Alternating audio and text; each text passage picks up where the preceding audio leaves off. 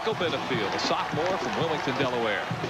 Here's Kennard Martin at the five. Got one man to beat. He does. He's in for a touchdown. A great run by Kennard Martin, who took Erwin Sampson on head on, beat him, and then took it in for a Carolina touchdown. And the Tar Heels are back in this football game.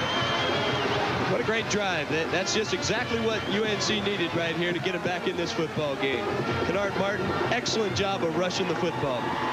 What a difference that offense had on their minds when they were out on the field in that last drive than the first two times they had the football.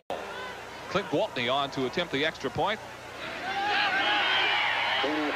He knocks it through.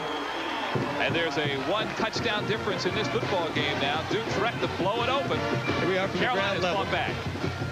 You go, Kennard Martin. He bounces it outside right there. Erwin Sampson had a shot at him, but you got to hit him a little bit lower than that there, Erwin.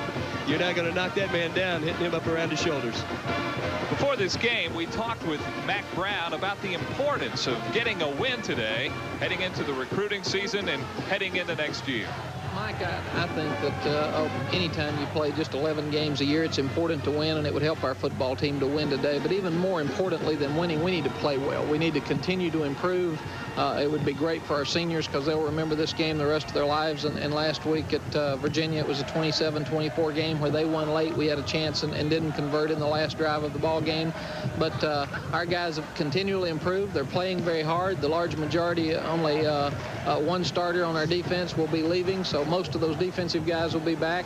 Uh, offensively, we've got to rebuild the whole thing. But I think that the, the biggest thing is they've gotten some respect back, and, and we need to maintain that respect today, and a, and a win would help that through the offseason. Steve, Carolina's been in this spot before last week against Virginia. They got down big.